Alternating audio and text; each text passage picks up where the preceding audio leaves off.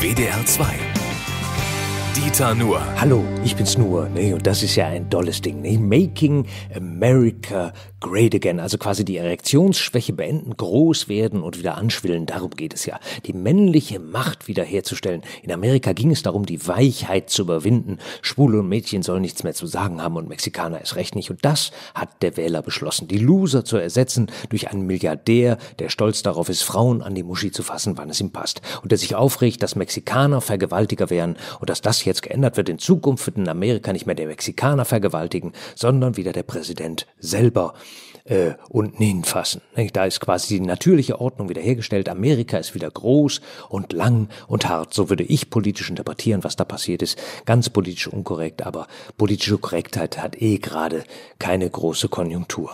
Making Great Again, das ist das Ding weltweit. Putin, Making Russia Great Again, Brexit, Making England Great Again, Erdogan, die Türkei wieder zum Osmanischen Reich machen. Darum geht es überall. Will das Kaczynski, Orban, Le Pen, Petri, Deutschland wieder groß machen und die Welt in diesen großartigen Zustand wieder zurückversetzen. Das Zeitalter der Nationalstaaten, also 1914 oder 1939, als man begeistert in den Krieg zog, um Deutschland wieder groß zu machen, was es dann nicht wurde, denn jede Erektion erschlafft irgendwann, das müsste man denen mal sagen. Great sein ist kein Dauerzustand. Die Normalität ist erstaunlich klein.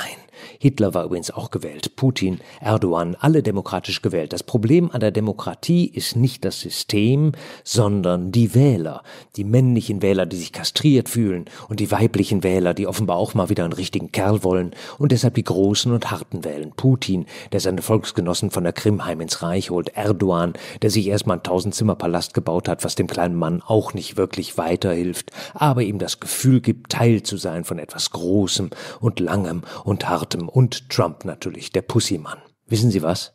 Wenn der Mensch zu lang im Frieden vor sich hin lebt, dann bemerkt er plötzlich, dass das Leben nicht great ist. Es ist auf die Welt kommen und essen, trinken und aufs Klo gehen und wieder ableben. Und weil er das nicht aushält, will er an etwas Großem teilnehmen. Making great again. Darum geht es. Zumindest für die Kleinen. Die Würstchen, die Verlierer, die Donald Trump so verachtet und die ihn gewählt haben. Was sie so klein macht, wie sie wirklich sind.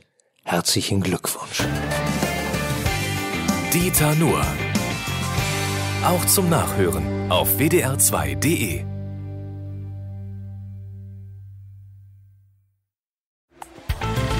Weitere Angebote zum Downloaden und mehr Informationen auf wdr2.de.